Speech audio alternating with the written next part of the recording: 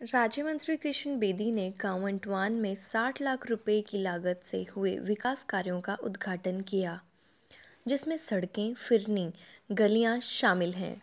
इसके उपरांत राज्य मंत्री कृष्ण बेदी ने जनसभा को संबोधित करते हुए कहा कि गाँव अंटवान में अब तक एक करोड़ तीस लाख रुपए के विकास कार्य मंजूर हैं। कार्य प्रगति पर हैं गाँव के सरपंच व मंडल अध्यक्ष विक्रम अटवान ने राज्य मंत्री का शॉल पहनाकर सम्मान किया और राज्य मंत्री कृष्ण बेदी का गाँव में विकास में सहयोग के लिए आभार व्यक्त किया। ये आज़ादी के टाइम से सभी सरकारें आई गई।